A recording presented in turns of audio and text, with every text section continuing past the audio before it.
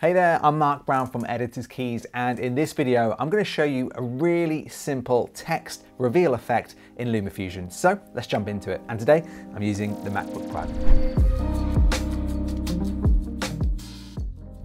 Hey there, welcome to the video. So if you use LumaFusion on your iPad or your MacBook Pro, you might want to check out our brand new LumaFusion keyboard covers for the 14 inch and 16 inch MacBook Pro.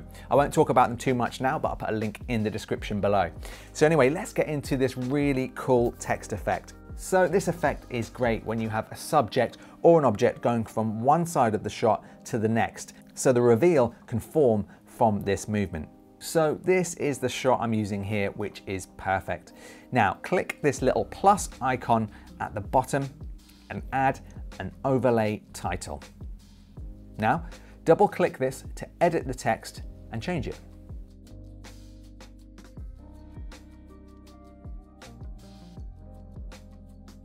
Now double click it again and make sure you're on frame and fit. Then go to cropping and use the right slider. Now, drag it until it's completely gone. Next, move to the point where you want the letters to start to appear. So I think just about here is great. Click these at the bottom here to add keyframes and now move frame by frame each time revealing the text until it's completely done.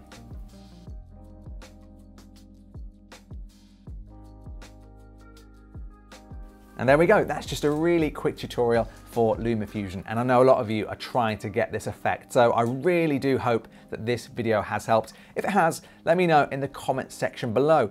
And what things would you like us to teach you about LumaFusion? What things are you really struggling with? Please let us know and we'll produce the videos just for you.